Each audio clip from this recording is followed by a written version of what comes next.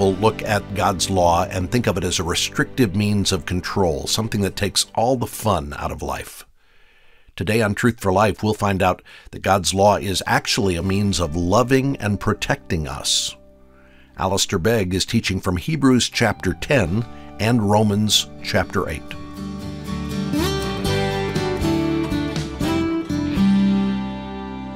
We say no to sin and yes to righteousness, not as a result of struggling to keep the law, but by the power of the indwelling Spirit. The believer gives up looking to the law in terms of any of the ceremonial uh, legislation and Mosaic material. That's why we're not doing the sacrifices. That's why we're not going back to these things. That's why the Council of Jerusalem in Acts chapter 15 was so crucial because they were hammering out these very issues. Well, where, what part then does all this old stuff fit in our newfound profession of faith in Jesus? And as they worked that out together, they were laying down, if you like, a foundational premise from which everything else uh, must follow. So the believer gives up looking to the law for justification or for sanctification. When, when the reformers picked up this material, they spoke in terms of uh, uh, the threefold function of the law. And they spoke of the law, uh, first of all, in terms of its civil or political function. Uh, obviously, within the context of the Mosaic law, but even beyond that, the reformers were quick to point out that, as we said in the outset, the Ten Commandments, the moral law of God, actually are a specific summary statement of how the world is able to work perfectly according to the plan of the Creator. Uh, when people come around and say, you know, the way, the, the pathway to freedom is to, is to overturn uh, these, uh, these uh, dreadful and, and ridiculous commands of God, then the reformers said, no, that is actually the pathway uh, to chaos because the law of the Lord is perfect. There's a reason why the Ten Commandments are in the rotunda where, where the Supreme Court sits. There's a reason why British jurisprudence and American law is as it is.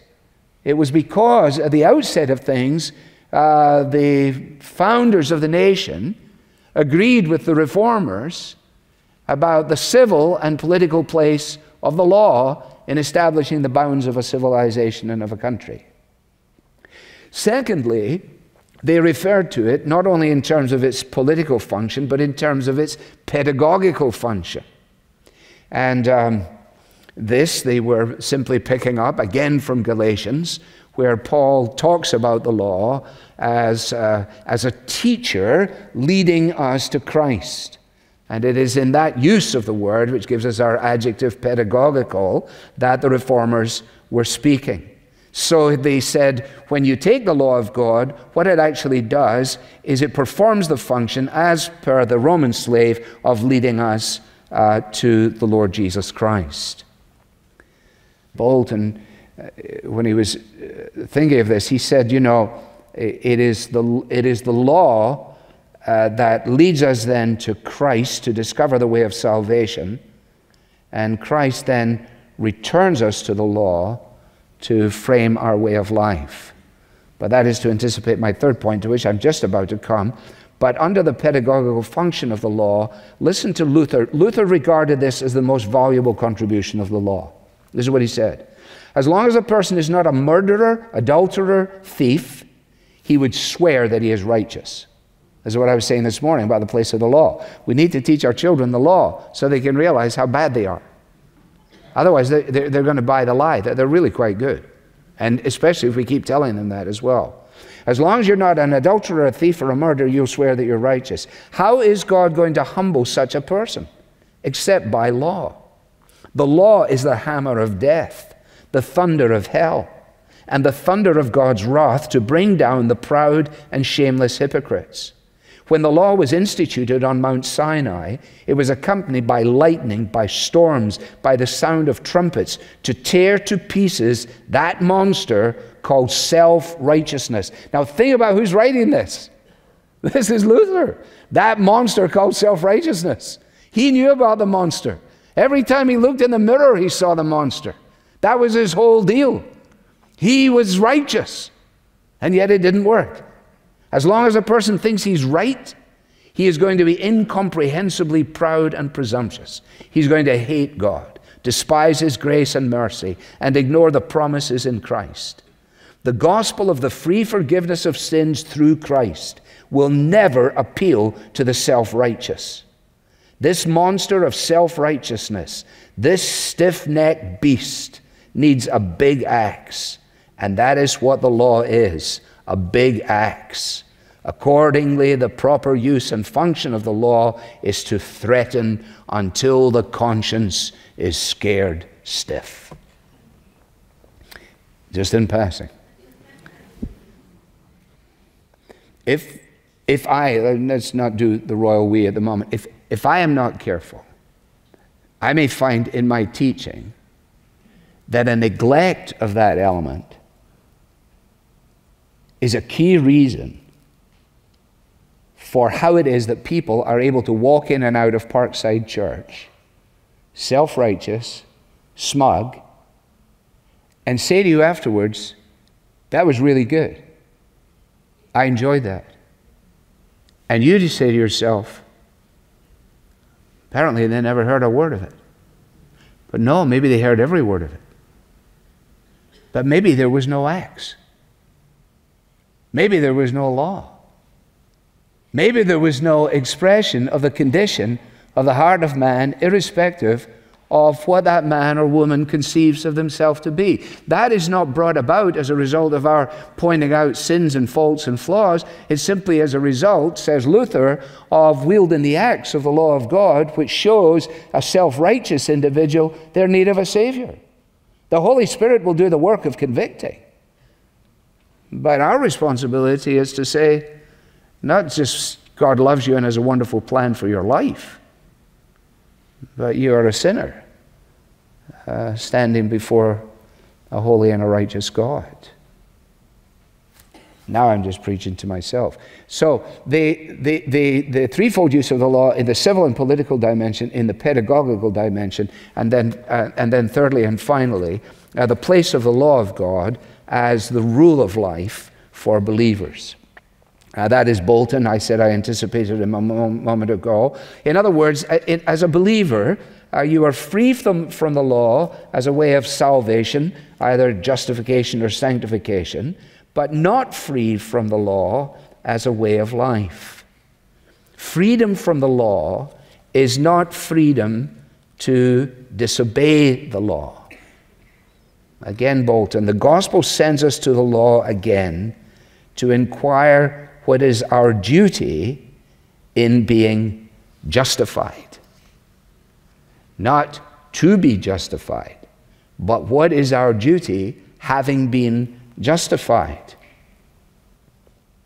Not justified by keeping the law, but having been justified, then keeping the law, made aware of our sinful condition now, when we, when we, as it were, get up off our knees in that awareness of the provision of salvation in the atoning work of Jesus, when we get up from our knees, it is not then to find the moral law of God abrogated.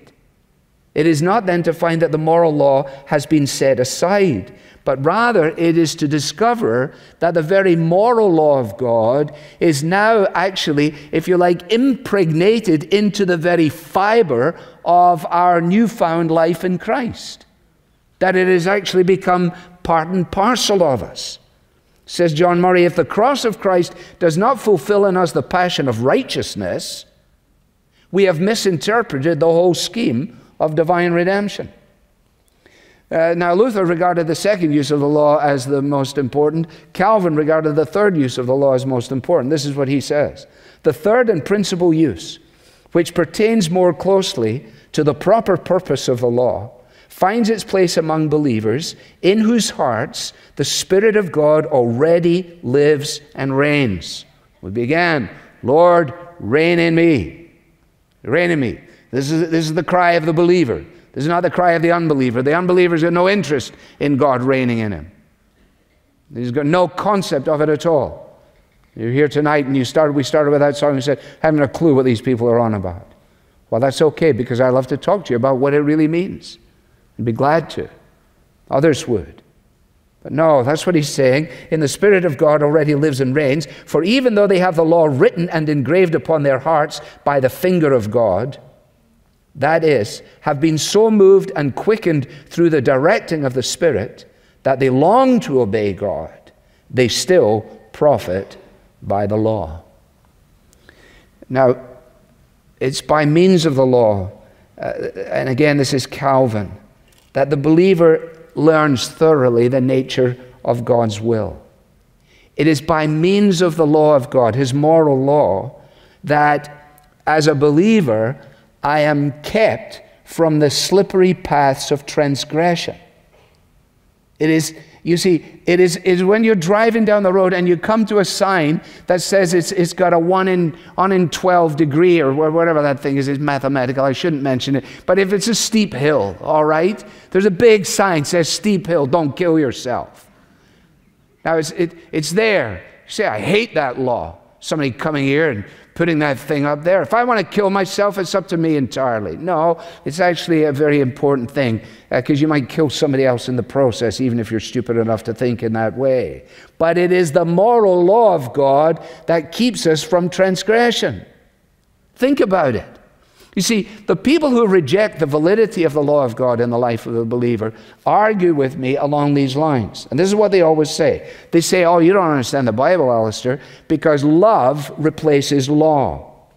In the living of the Christian life, we no longer operate under law, after all, Romans 6, which is then misquoted as per usual, but we are simply moving according to love as the rule of life.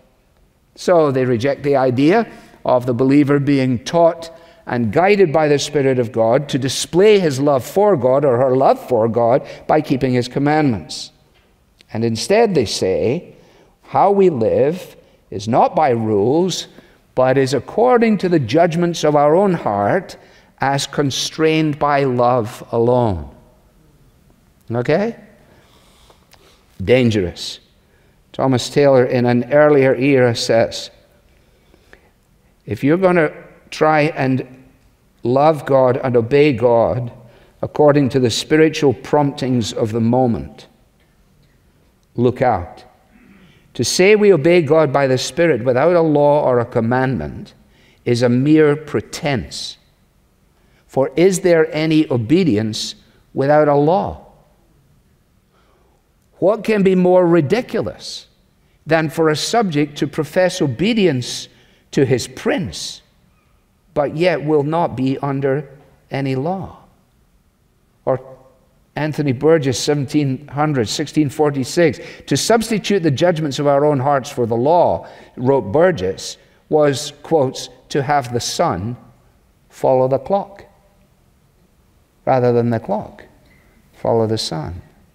The Puritans, in the same way, were aware of the fact that it was possible for the believer to keep the law in an external way, in a fastidious way, in a moralistic way. And that's why the reformers said the true keeping of the law in the life of a genuine believer is according to, a quotes, evangelical ability. And what they said, and, and uh, Alec Motyer picks up on this in some of his stuff, they essentially said that God has, if you like, fashioned the believer's heart in the shape of his law, so that he keeps the law not, not by natural endeavor, but as the impact of the energizing power of the Spirit of God. The Westminster Confession, helpfully again, the Spirit of Christ subdues and enables the will of man to do that freely and cheerfully which the will of God reveals in the law requires to be done. I will always obey your law forever and ever. I will walk about in freedom, says the psalmist, for I have sought out your precepts.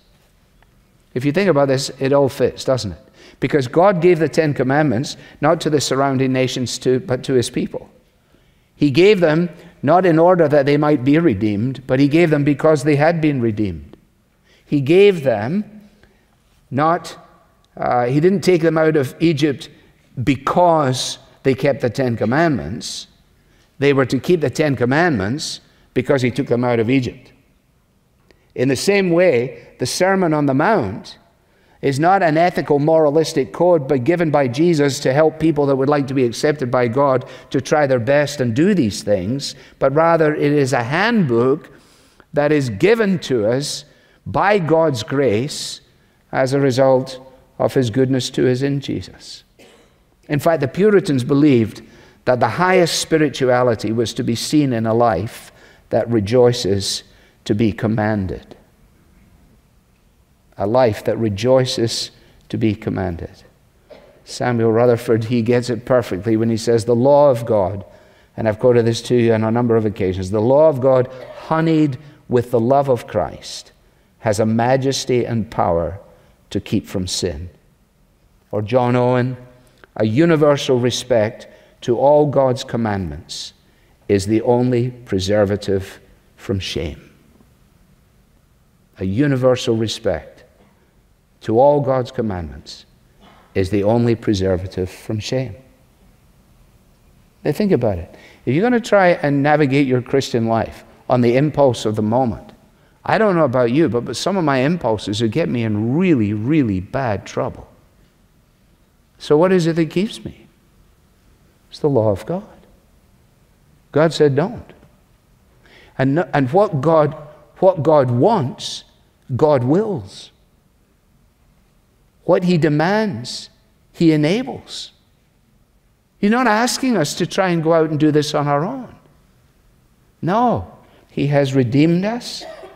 And the promise and the wonder of it all is that I will take my law and I will write it in their hearts and I will establish it in their minds. That's why we read from Hebrews. I better not start on Hebrews right now, but that's, that's why we read that section.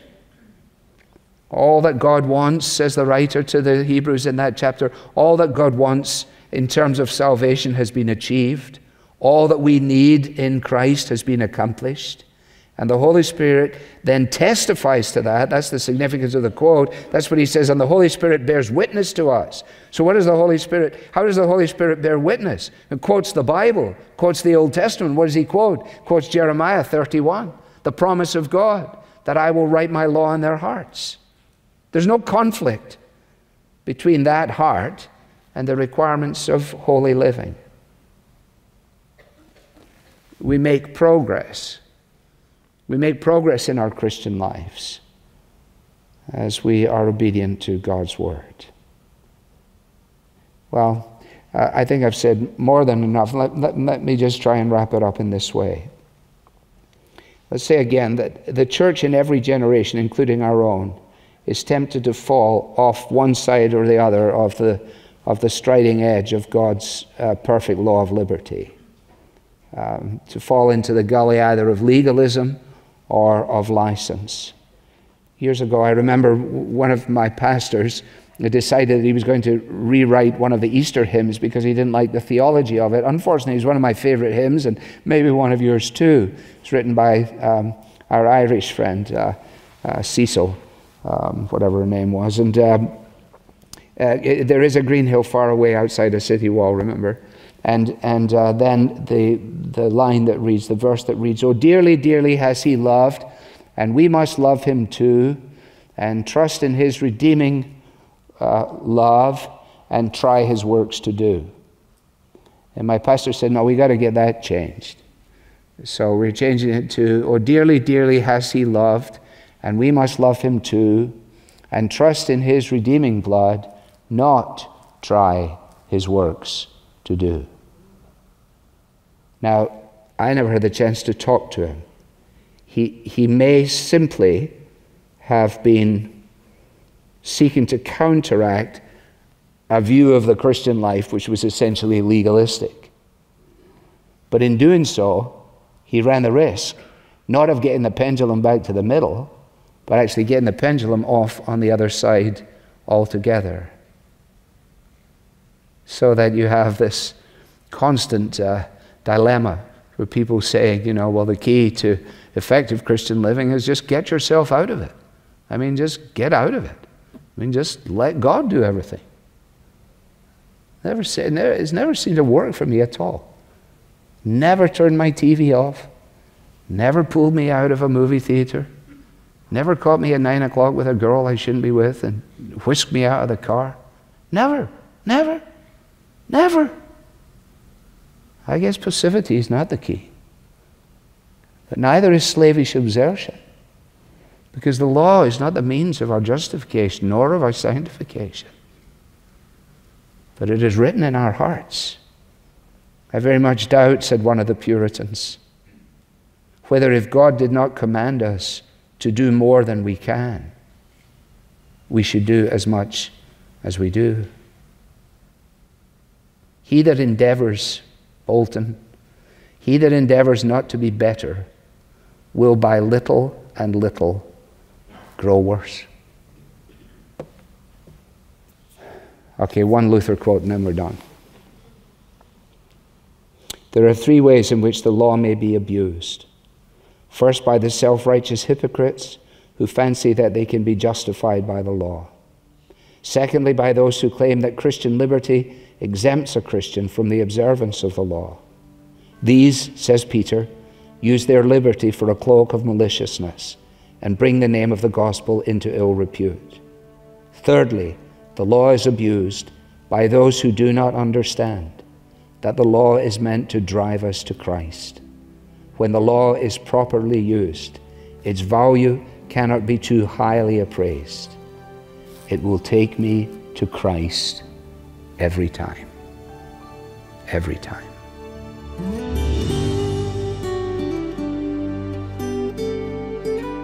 You're listening to Truth for Life with Alistair Begg. Well, not only is today the last program of the week, it's Truth for Life's last weekday program in 2023. And as we think back on how God has blessed this ministry, we want to thank everyone who has studied along with us, all of you who have prayed for us and who have listened or donated to make all of this possible. And as we close out this year, Alistair is here with a few words for us. Thank you, Bob. And here we are with just a few days from the close of 2023, a year in which we have benefited from studying and learning from the Bible, getting to know Jesus better. And as you benefit from these daily messages, you have your fellow listeners to thank because by their giving, we're able to produce and distribute the program. We're able to make the online teaching library free so that it can be accessed all around the world. So let me say that if you've been listening but have yet to move from listening to giving, this would be a great time to make that transition before the year is out. Your gift of any amount will help to bring Truth for Life to others in the new year, the same way that others have made the teaching available to you throughout 2023. And Bob has the details on how to make that happen. You can make your year-end donation securely online at truthforlife.org/donate. And as a reminder, if you're in the US, you'll want to do that before midnight on December 31st, so your donation will be tax deductible for 2023. When you give, don't forget to request a three pack of the Gospel of John. Again, the link is at truthforlife.org/donate. And if you're mailing your donation, be sure it's postmarked before December 31st. You can mail it to Truth for Life, Post Office Box 39 8000, Cleveland, Ohio 44139. Now, we want to wish you a blessed weekend as you ring out the old year and bring in a new one.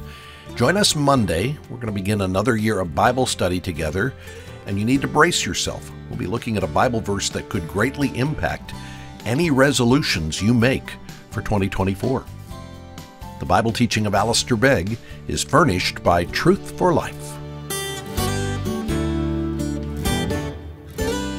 where the learning is for living.